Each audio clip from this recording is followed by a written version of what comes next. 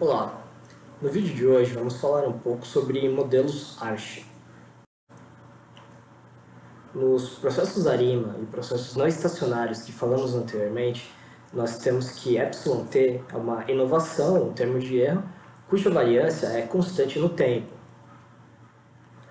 Entretanto, nós podemos, que essa, é, é, podemos ter que essa hipótese não será válida e que a variância condicional de εt pode variar no tempo. Quando isso acontece, nós podemos modelar também, no caso, o processo de εt através de um processo, desculpa, através de um modelo chamado de modelo ARCH, ou Autoregressive Conditional Heteroscedasticity. Então, a volatilidade irá depender da variabilidade de observações passadas. A ideia-chave de um modelo ARCH é que a volatilidade ou heterossedasticidade de uma série de tempo pode ser modelada como um processo autorregressivo, o que é interessante, pois nós já trabalhamos com processos autorregressivos e nós podemos utilizar o ferramental é, trabalhado anteriormente nessa outra parte também. E um exemplo no caso de um modelo ARCH é o que está representado aqui na equação 1, que representa um processo ARCH1. Então, varia, variância de εt dado o conjunto de informações ômega t menos 1 é igual a, no caso, a ht ao quadrado, né, que é a, a letra, no caso, que nós utilizamos para representar a volatilidade, é igual a alfa 0 mais alfa 1 vezes εt menos 1 elevado ao quadrado, em que alfa 0 é uma constante positiva.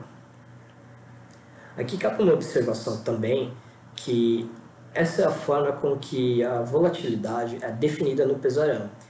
Alguns outros materiais costumam trabalhar com um modelo que é essencialmente igual a esse, mas em que nós tiramos a raiz quadrada de ht e também tiramos a raiz quadrada do lado direito da expressão. Quando isso ocorre, quando você trabalha com um material como esse, será necessário fazer alguns ajustes. Então, a equação pode ser diferente, mas a ideia será semelhante. A princípio, pode parecer estranho. É, nós temos que a variância de um processo estacionário ela deve não variar no tempo, deve ser o mesmo valor em todos os períodos de tempo, mas nós temos um modelo que pode ser estacionário que apresenta uma variância que varia no tempo. Aqui, né, cabe observar que temos que a variância condicional de epsilon irá variar no tempo, mas o Pesarem mostra, eu não vou colocar todas as equações aqui, é, o Pesarão mostra que a variância não condicional de εt é dado, no caso, pela expressão 2, então a variância de εt, que é igual a sigma quadrado, será igual a alfa 0 dividido por 1 menos alfa 1. Então, não varia no tempo, desde que aqui também nós tenhamos que alfa 1 seja menor do que 1 em módulo. E alfa 1 menor do que 1 em módulo é a condição de estacionariedade do nosso modelo H1. nada nos obriga, entretanto, a que o nosso modelo ARCH dependa apenas de uma defasagem de epsilon t.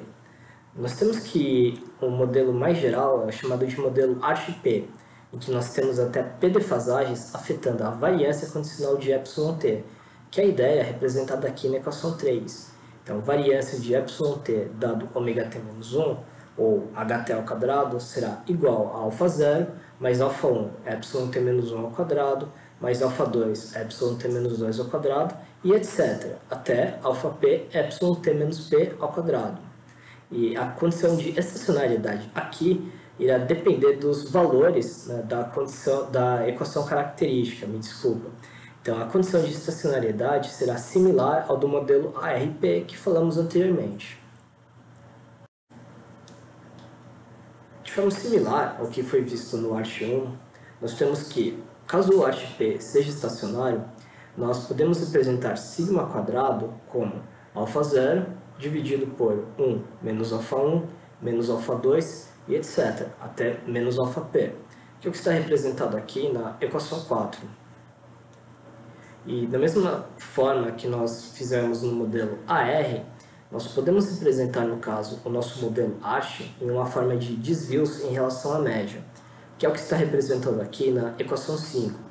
Então, ht ao quadrado menos sigma ao quadrado é igual a alfa 1 vezes et menos, epsilon t menos 1 menos sigma quadrado, mais alfa, alfa 2 vezes epsilon t menos 2 menos sigma quadrado, e etc. Até mais alfa p vezes epsilon t menos p menos sigma quadrado. Então, isso aborda os pontos básicos do modelo ASH, de modo que ficamos por aqui. Obrigado.